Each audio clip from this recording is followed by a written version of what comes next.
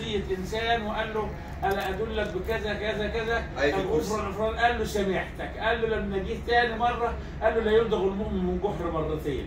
خدت بالك؟ أم قال له ألا أخبرك بشيء يحفظ مالك إيه رأية الكرسي؟ فراح للرسول فقال له قال له ذاك الشيطان يا أبا هريرة. صدقك وهو كذب. ف- فهو لكن لو على كده كانت أموال الناس كلها راحت وأحوال الناس كلها راحت وكذا لكن سؤال يعني لما الجن يسرق من يعني أموال الناس أم لا؟ دكتور أحمد رمضان في هذا الجزء. يعني ده دليل إن الشيطان لما هو بيخش أنت بيت ممكن أطفئ يعمل أطفئ المصباح إحنا عندنا والبتاع ده عشان خاطر ال- ال- الوباء. لا المصباح عشان خاطر ما ما ما يتوبش عليك زي زي هو المصباح ما الآن ياخد في حكم ال- جائزه التكنولوجيا خصوصا اللي يفتح عيالهم وشنايع اللندا اللي هم تحطنا بيسموها لندا مبربور دي بتاع لمبه خاص. بتدخن طول الليل وتنام في الفرن. خدت بالك؟ يصبح تلقى الراجل شناب من الدخان. آه. وانكف وتكف يكف يكف البتاع دي معاه فدي من ضمن المضرات اللي بتضر الإنسان منها. فاطلق مصباحك واذكر اسم الله. وغطي مسقاك سقاء. آه. اللي هو مكان الشرب هناك معاه. وكان من هذه عليه الصلاة والسلام آه، يشرب الماء البائت ولا يأكل الطعام البائت. من هذا ولذلك الحتة اللي هي ان الكويتيين بيعملوها بس بقى حقا إن هم يتعلموا حاجة دي كأن هم يتعملوا حاجة اسمها يعني الوجبة إن هم أربعة. يعملوا أكل الاثنين عشان أكل الاثنين يقضوا الأربعة. الأربعة. عشان خاطر بدل هو ما بيخليش يعني ما بيخليش. أما خلاف الناس اللي, اللي عندنا هناك معاهم هم الآن دلوقتي آه، جابوا حاجة طيبة إن مثلا الثلاجات الثلاجات المحطوطة. أو أو أو يتصل باللجنة اللجنة تديهم للناس برضه يتغدى بقى ويتعشى. وكانوا زمان يا شيخ برضه يحطوا حاجة كده زي السبت كده في السقف ويرفعوه وينزلوه دي لا لا هو دي زي يعني آه تتهوى لا لا ده دي بيرفعوه ينزلوه عشان خاطر يبقى بعيد عن النمل وبعيد عن. القرى وعن البتاع وحاجة زي كده اللي هناك. فدي كانت وكان على الحاجات دي كان معانا. لكن دلوقتي مثلا كلنا تعودنا العيشة العزبية اللي عندنا. انعمل في الأسبوع بيعملوا مرة هي حلة رز. وكل يوم ياخدوا ثلاث أربع معالق منها وكل يوم ثلاث أربع معالق فاصوليا وكل يوم تاكل ذلك بتقضي الوجبه كذلك الأسر الموظفة اللي هي مش كل يوم هتطبخ. آه.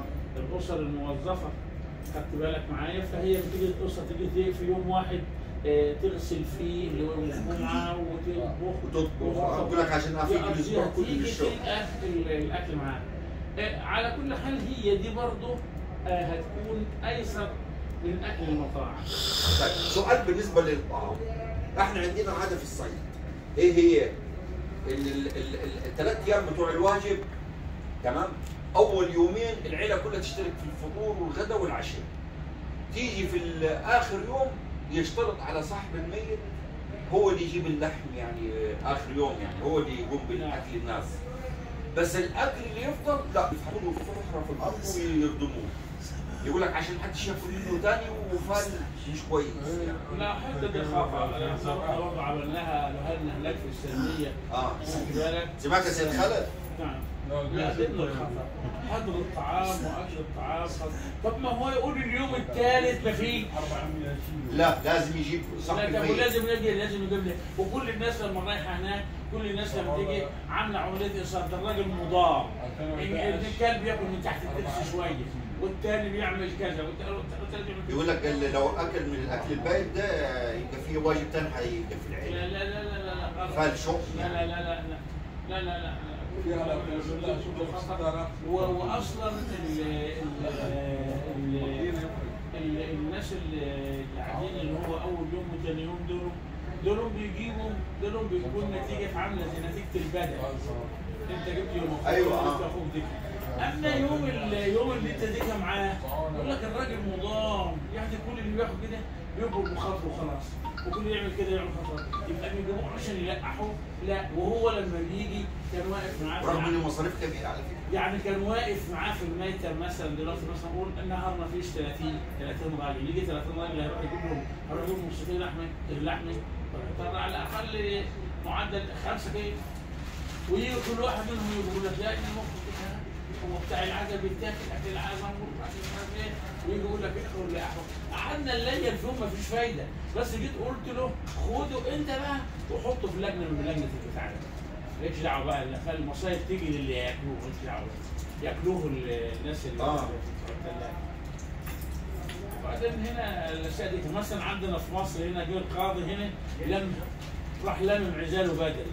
هو سيادته هو هو مصري القضاة في مصر ما بيعزوش ما بيختلطوش بالمجتمع وهنا في الكويت عاملين طنبة وبتاع ده عمل ما حدش جاب مم. يعني انت لما تيجوا في يوم يموتوا يعني هو.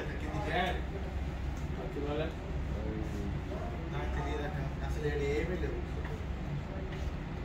عادات وتقاليد صعبه يعني